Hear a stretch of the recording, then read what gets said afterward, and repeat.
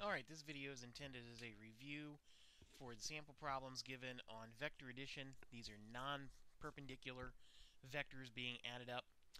I'm going to take a visual example problem first. So we're just going to look at what's going on here and get the concept down, and then we'll apply it twice. I'll probably break this video up into two parts, and uh, we'll do one sample problem mathematically on this part, the end, and we'll have a second part with a a problem out of the textbook from page 93.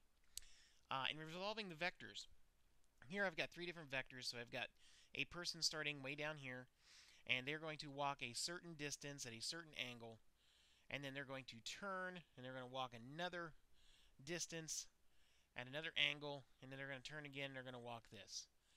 So what I want to do first of all is I want to show you that you can take each of these vectors themselves and you can break them down into the horizontal and vertical components. So the first thing I'm drawing in here are the horizontal components. These are the x directions of these vectors.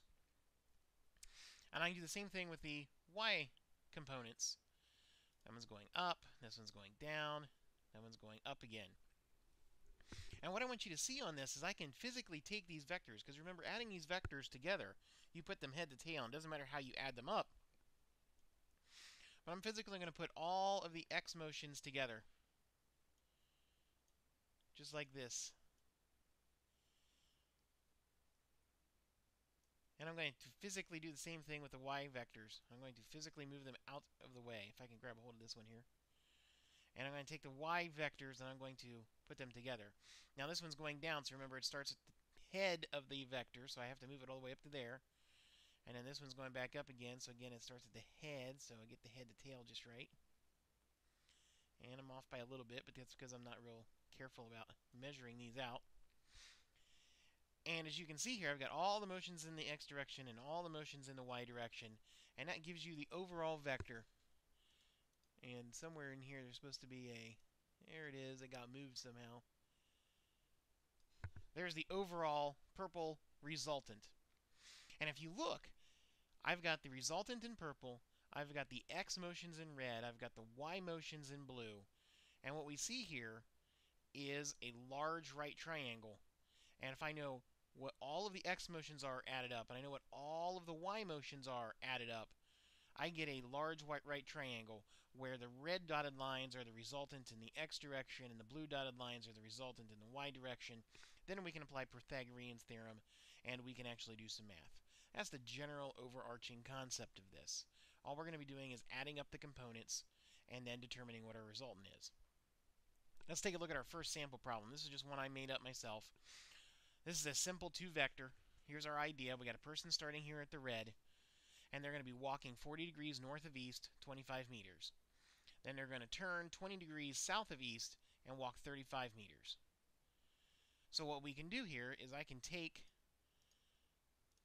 the vectors and I can break them down into components. And I'm going to do this visually first. So here is the first motion in the x direction, and here's the second motion in the x direction. And, you know, one thing while I'm thinking about this is I'm going to, well, I guess I can't do changing the colors of the other one because it's locked out. That's okay. So the dotted lines, the red dotted lines are displacements in the x direction. Now I'm going to do the same thing with the displacements in the blue direction, in the y direction rather. I'm going to put those in blue. This vector is going up in the y direction, so head to tail, and looks like I missed a little bit. So I'll try to do a little bit better job. I'll extend this just a little bit. And I'm going to do the same thing with the blue vector, y direction. Now this is going down. Somehow I missed this. Blue. And we're going down here. And so it went down, and so this is our motion in the y direction of our second vector. Now, one of the things that I like to do is I like to break these down into simple terms, and I like to give them some labels. So I'm just going to crudely write these in here. The red vector, I'm going to just call vector A. And the blue vector, I'm just going to call vector B. Which means that for vector A, and somehow I changed the color of that line right there. This is supposed to be a red line. That must have been why I got confused a little while ago. For vector A, then, this side right here, right here, represents A in the x direction. So I'm going to call that A in the x direction.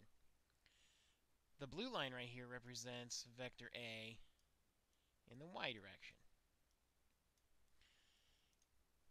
And this red dotted line represents B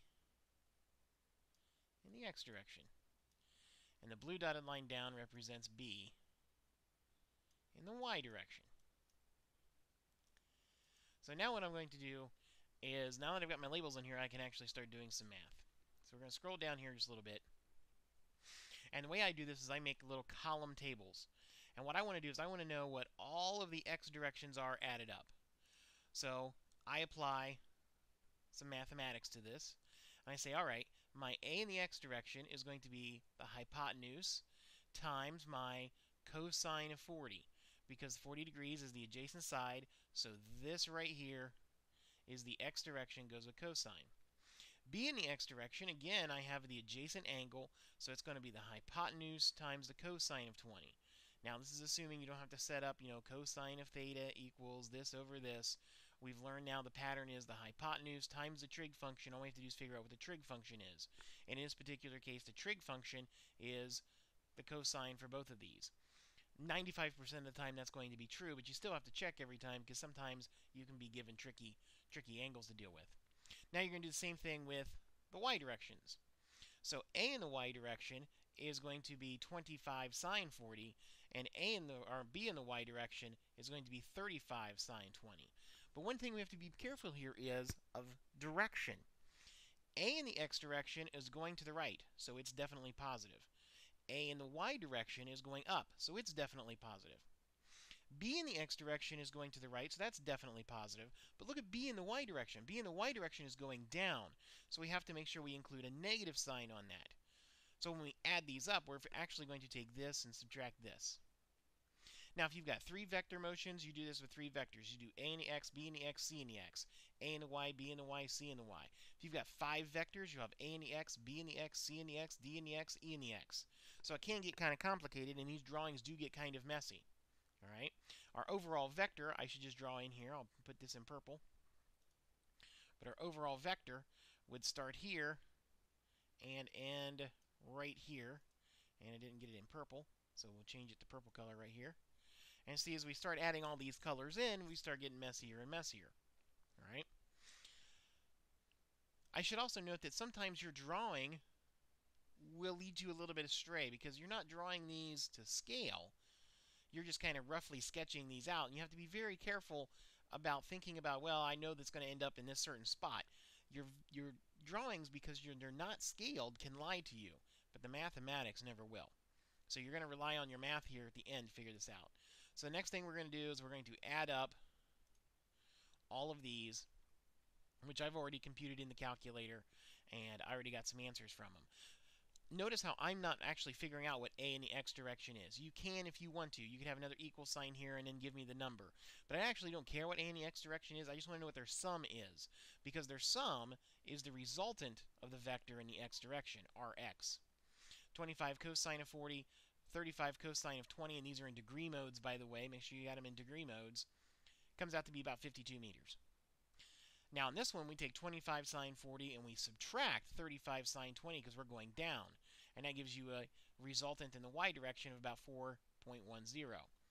Now, I said sometimes your pictures can lead you astray.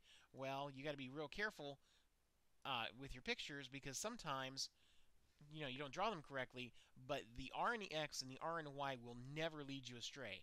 What this is telling you is that the resultant is positive 52 meters. That's to the right or up.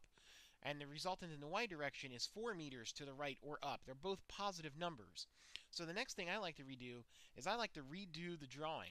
So instead of putting the purple vector all in this right here, making a giant mess of my picture, I just redraw draw r in the x direction, which is 52 meters, and r in the y direction, which is 4.1, add in my new resultant, and I now have an angle right here, and I can figure the hypotenuse. That's a piece of cake. So hypotenuse, that's easy. Resultant overall vector is r in x direction squared plus r in the y direction squared. I guess technically I, I forgot to put the square root in here, so let me hand draw that for mathematical accuracy. The square root of all that, and that's 52.2 meters. That leaves us with trying to figure out what our angle is. Well, again, the angle, we talked about this before, the angle we want to calculate is relative to our start position, and the way I've drawn my triangle, this right here represents the angle that we're interested in. The tangent function is what we're going to be using then. The tangent of this angle is ry over rx, and we had said before, and we've done this a couple of times, you're going to have to take the arctangent or the inverse tangent, and it turns out to figure out what our angle is, you take the inverse tangent of the opposite side, ry, divided by the adjacent side, rx, making sure that you're in degree mode, and we get an angle of 4.5 degrees. So this angle right here is 4.5 degrees. Well, relative to what? 4.5 degrees, what of what? Well, again, your arc is touching the easterly direction, and we have to rotate to the north. So we're rotating north of the direction east. And so our overall vector is 52.2 meters at an angle of 4.5 degrees north of east. All right, that concludes this problem. This video will be part one, and we'll do a part two video using the sample problem in your textbook on page 93, which we'll have uh, in the video here in a little bit, and we'll talk about that. Um, so hopefully you'll take a look at that, and uh, then you'll be prepared for our next meeting.